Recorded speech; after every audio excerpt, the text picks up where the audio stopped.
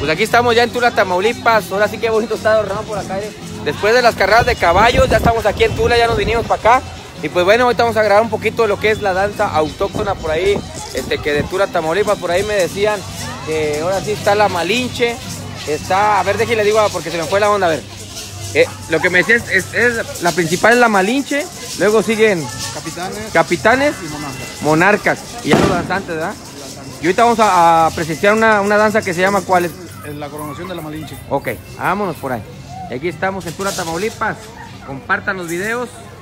Y bueno, recuerden, es lo bonito por acá, nuestras danzas, nuestras tradiciones tamaulipecas. Y que los vea todo el mundo. Ayúdenme a compartir este bonito video.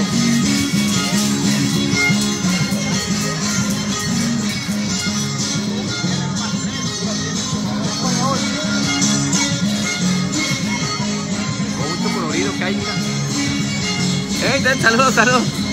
Hay mucha comida por allá, era mucha comida por todos estos rumos de por acá.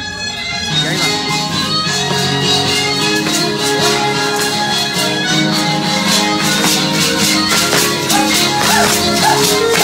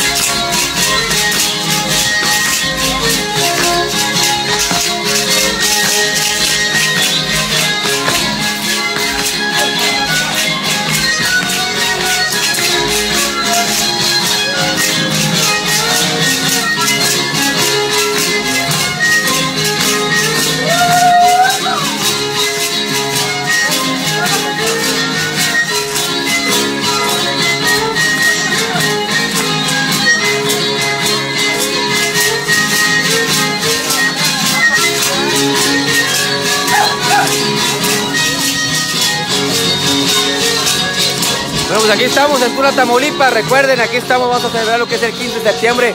Una tradición muy, muy tamaulipeca. Ahora sí, lo que es este, nuestras danzas autóctonas. Ah, anda bailando la chiquitina, mira. Baila, baila, mi amor. Ahí está, compadrito. No podía faltar usted, ya están las tradicionales palomitas. En familia siempre, aquí estamos. Tula, Tamaulipas. Los algodones también algo muy tradicional. Dios me los bendiga mucho y nos vamos ahora sí a bañar un ratito porque si no, tenemos que venirnos a grabar por acá. Dios me los bendiga mucho y arre porque nos alcanza. Oiga, ¿y usted qué está haciendo aquí? ¿Qué es lo que venden aquí? Sonrisas, dice, sonríe. La foto, está bueno, ándile pues.